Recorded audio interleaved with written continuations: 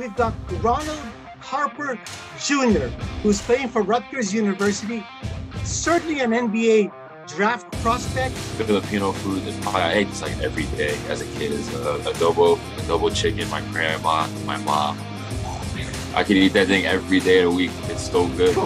But Every day with rice?